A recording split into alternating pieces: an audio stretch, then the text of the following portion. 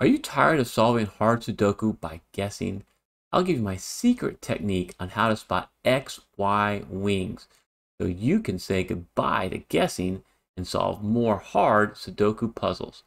Click below if you want to give this puzzle a go. And with that, it's solving time. What can go in this cell right here?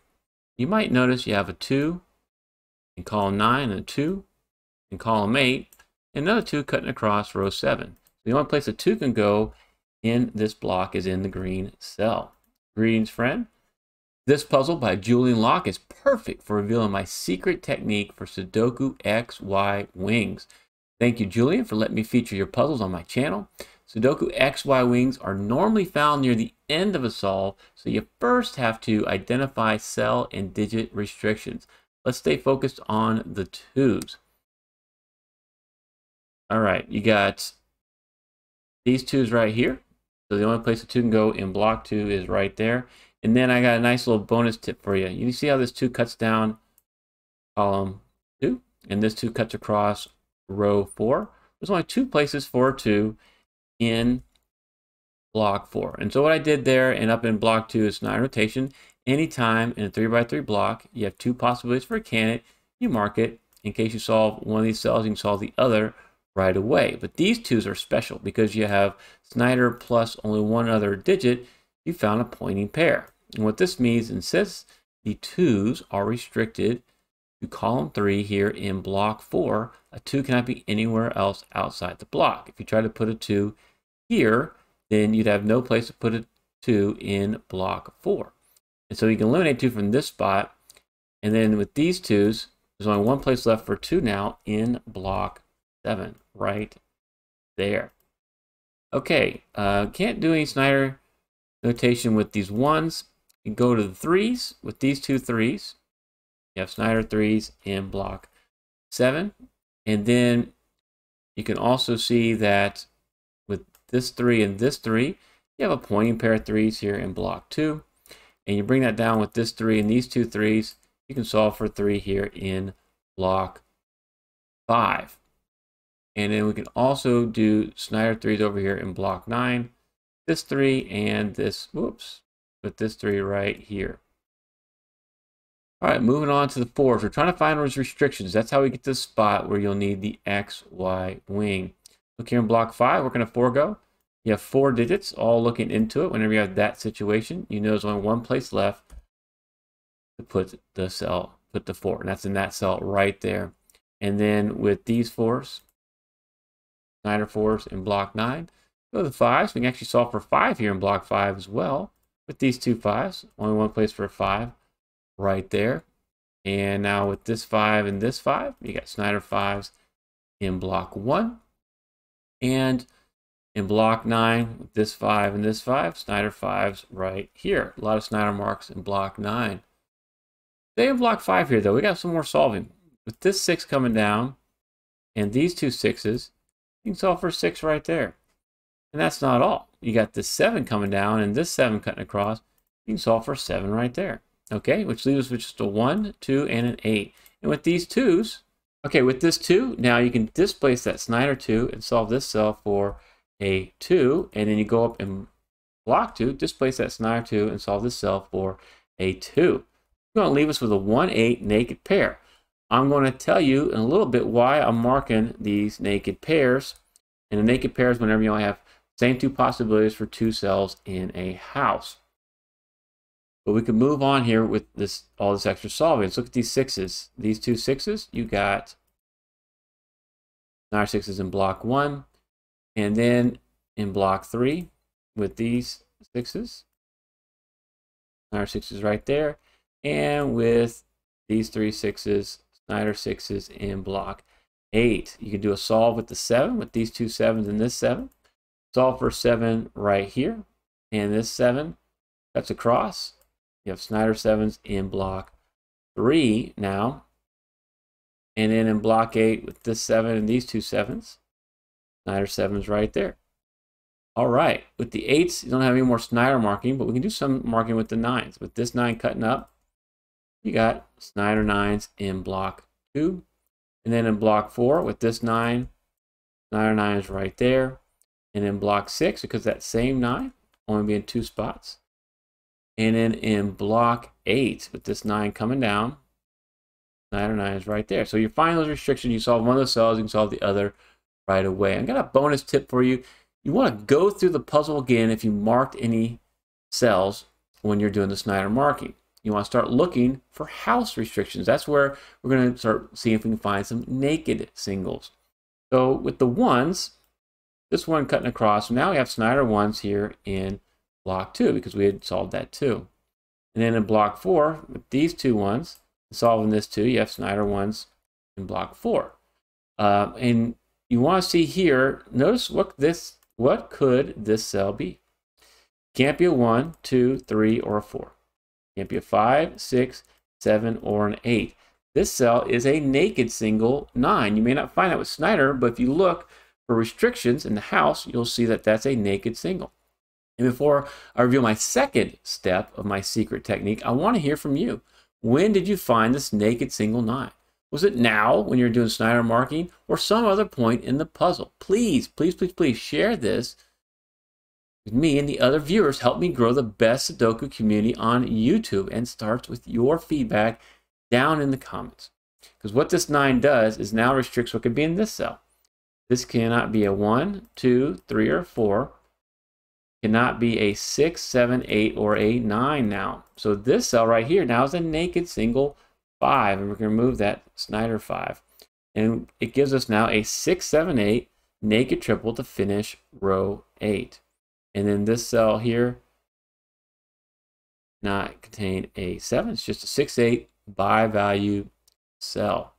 All right. What else can we do these 9s? Since you saw the 9 here, this places that Snyder 9. You can solve the other cell right away, which displaces this Snyder 9. You can solve this cell for 9, displacing that Snyder 1. Allows us to disambiguate the 1, 8 here in row 5. And then you, since you solved the 1 right there, that's got to be the 8. You can disambiguate the 1, 8 here in block 5. And we have a 1 left in block 6. So much solving. And this is kind of the point of my second step of the secret technique. First, we can do a little bit more solves. You notice now with this 1 and the 3, you have a 1, 3, 4 here in block 9. Since this can't be a 1 or 3, that has to be your 4. So my second step is to identify as many bi-value cells as possible, BVCs, because a Sudoku XY wing requires three bi-value cells for it to work. And so the more of these you see, the closer you're going to get to finding that strategy. And let's look up here that you did six cells filled out here, and this is seven cells. This has to be a 6-8 naked pair up in block 3 in column 8. So more BVCs. We're getting close to that third step, the secret technique. The third step is a step where you're going to stop guessing.